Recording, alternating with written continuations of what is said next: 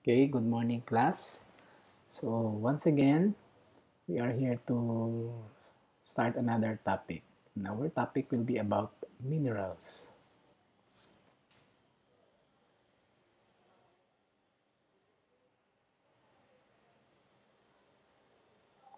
So the objectives of our lesson for today is the learners will be able to identify common rock-forming minerals using their physical and chemical properties.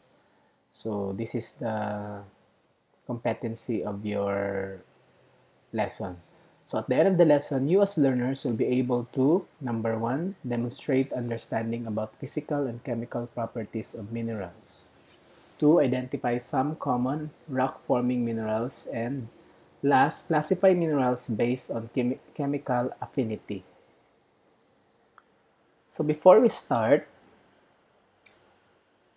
okay, if you happen to visit your LMS, so you're going to see a question there. So if not, you can log into your account and you have the question there. Are the minerals present in dietary sup supplements and the minerals you are talking about here are the same? Okay, so can write your answer and later at the end of the discussion, we are going to reveal the answer. So going back again to our lesson, so here I have examples of uh, examples of substances and you are going to identify whether they are minerals or not.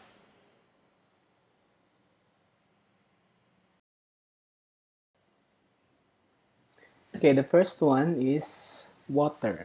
So what do you think is water? Mineral or not?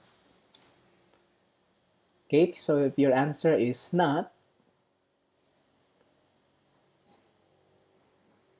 then it is correct. So next, we have ice. So is ice a mineral or not? So if your answer is mineral, then you are correct. Okay, next. So what is this? So this is a snowflake. So is a snowflake a mineral or not? Okay, if your answer is it is a mineral, then you are correct. So next we have shattered glass or glass. Is it a mineral or not? So if your answer is mineral, then you are wrong. So glass is not a mineral.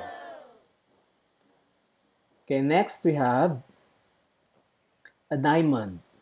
Okay, a blue diamond. Is it a mineral or not? So again, if your answer is a mineral, then you are correct. Okay, last, we have, so what's this? This is sugar.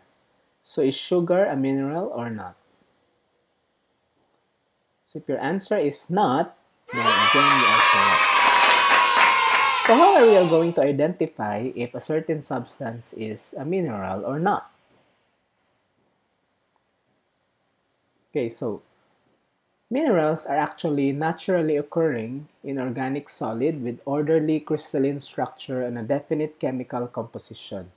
So if you're going to look back at the previous pictures or images that I have flashed on the screen, okay, you will have a you will have an idea what makes a mineral. Okay, for example, why is water not considered a mineral? So based on our definition here, it is naturally occurring. Yes, water is naturally occurring. Inorganic solid. We know that water is inorganic, but it is not solid. So it does not fall on the category of being a mineral. So uh, minerals are actually the basic, build, basic building blocks of rocks. Or in another way, we can say that rocks are aggregates of minerals. Aggregates meaning they are components of rocks.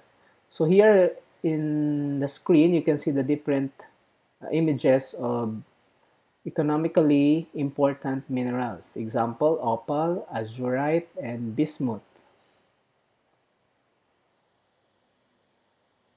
So to meet the definition of a mineral, so some uh, most of geology, uh, most of the geologists uh, has or have the following requirements. Okay, number one, it has to be homogeneous. Two, it has to be naturally occurring, as I have mentioned a while ago. It has to be solid. It has to have a definite chemical composition. It has to have an orderly crystalline structure and it has to be organic.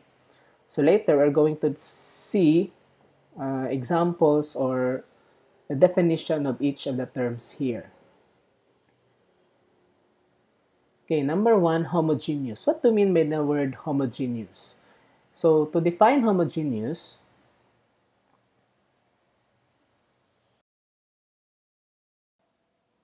so here we have the different characteristics of a mineral. So first one is homogeneous. So homogeneous meaning something that is the same through and through and can it cannot be broken into simpler components. So an example of this is the blue diamond that I have shown you. Okay, this one. So all throughout the the particular that this particular substance or this diamond you can see that it is made of uh, carbon so you cannot uh, reduce it to any other simpler or it cannot be broken into simpler components. Okay next we have it is naturally occurring. So minerals are the result of natural geological processes.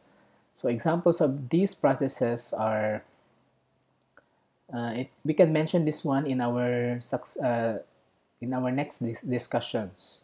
So like exogenic and endogenic processes, metamorphism, plutonism, so how rocks are formed. And since rocks are made of minerals, so in a way we can see also how uh, minerals are formed through these processes. So man-made minerals are called synthetic minerals. Example of these are industrial diamonds. So, number three, solid. So, minerals must be able to maintain a set shape nearly indefinitely. So, liquids are not examples of or are not considered minerals. So, like the water that I have shown you a while ago, so it is not an example of a mineral. However, the solid form, which is ice, is considered a mineral. So we can see that it has uh, it has the following characteristics. We know that it is homogeneous, it is naturally occurring because water is naturally occurring, and it is also solid. Okay, so the next characteristics are the following. It has to have a definable or definite chemical composition. A mineral can be described by a chemical formula. So example of this are quartz, biotite, diamond. So with a corresponding chemical formula. So we have uh, silicon oxide, so biotite, we have the following, and then diamond, carbon. So homogeneous all through and through. So although these are made of different, uh, this is actually a compound, but when we look at the mineral itself, it cannot be broken into simpler components. So next is it has to have an orderly or an order an orderly arrangement of atoms. So minerals have a fixed atomic pattern that repeats itself over a large region relative to the size of atoms. So crystal solids or crystal lattice uh, is what we call as the organized structure of a mineral. So if you're going to look at it, so this one, this is a crystal lattice or the structure of a sodium chloride crystal. So you can see here the sodium are the gray ones and the chlorine atoms are the green ones. So they are organized or they are arranged in an organized manner. So this is an example of a crystal lattice. So we have uh, one particular cube that's a cubic crystal of uh, sodium chloride. Okay, next, six generally or inorganic. Organic, so what's the difference between organic and inorganic? When we mean to say organic, it is a substance composed of carbon bonded to hydrogen with varying amounts of oxygen, nitrogen, and other elements. Carbon alone is not organic. So, organic meaning it has to be a component of life. So, it has to be bonded with hydrogen.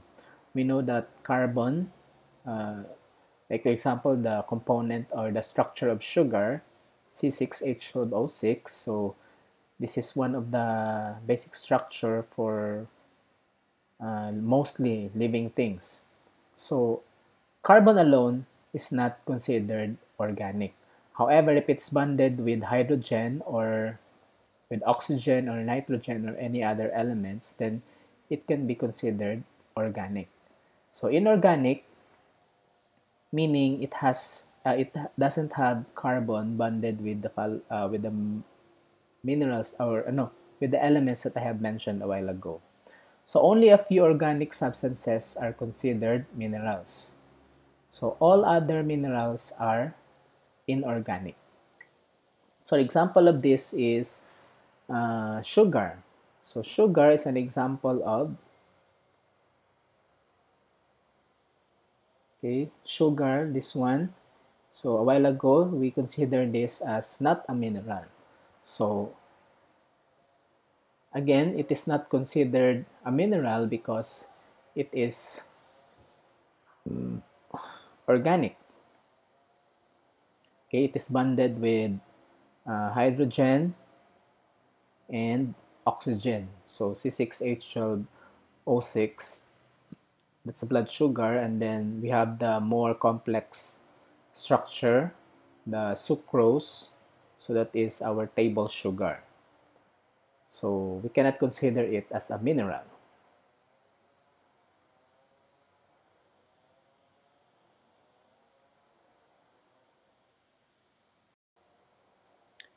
Okay, so going back again to the substances that I have flashed in the screen a, while, uh, a while ago. So again, water is not considered a mineral because it is not solid. Okay, and then ice is considered a mineral because aside from being solid, it has an organized, it has an orderly arrangement of atoms, it has a definite chemical composition, and of course, it is inorganic. And then it is naturally occurring, being water. Okay, next we have snowflake. Again, it has passed the qualifications or the characteristics of a mineral. Okay, so we have glass. So glass is not considered a mineral because it has no um, it has no orderly arrangement of atoms. So it is not organized in terms of chemical, uh, in terms of structure or physical structure. Okay, next we have diamond. So diamond is considered a mineral because again, it is made of, it is homogeneous, solid, and aside from, although it is made of carbon, but then again, it is not attached to any uh, it is not bonded to any other elements. It is pure carbon. So we can consider this as a mineral. And then lastly, we have sugar or table sugar. This is not a mineral because it is uh, it is not inorganic. So it is organic rather.